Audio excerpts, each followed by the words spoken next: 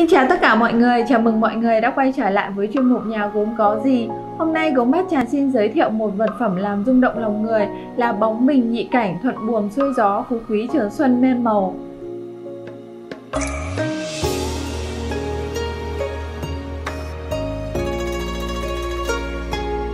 Bóng bình nhị cảnh được khoác trên mình một bức tranh hoàng hôn vô cùng sống động và chân thực từ hình ảnh đến màu sắc, người nghệ nhân đã đi màu vô cùng tài tình để rồi khi hoàn thiện ta như đắm chìm trong khung cảnh bình yên, an nhiên này.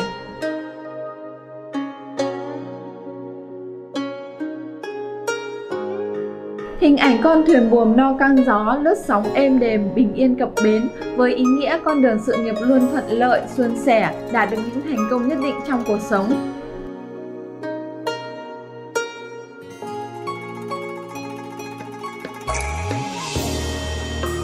Đối diện là tích vẽ phú quý trường xuân, biểu tượng của cuộc sống vinh hoa phú quý,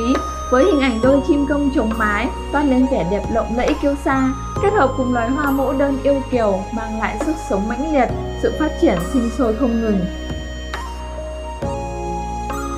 Điểm xuyên giữa hai tích vẽ là hình ảnh họa tiết hoa dây uốn lượn mềm mại quanh chữ đức và chữ phúc càng làm tăng thêm giá trị phong thủy của vật phẩm này.